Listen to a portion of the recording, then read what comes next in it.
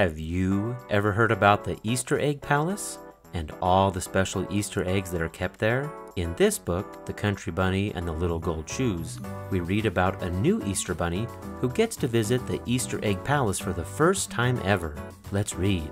The next evening, Cottontail knocked on the big front door and was admitted to the palace. There she stood in her funny country clothes, but none of the other four Easter bunnies laughed, for they were wise and kind and knew better. They showed her all over the palace, from room to room, all piled high with eggs of gold and silver, and eggs that glittered like snow, chocolate eggs, marshmallow eggs, eggs for rich children and eggs for poor children, for children who were sick and children who were well, all over the world. Like and subscribe if you learned something new.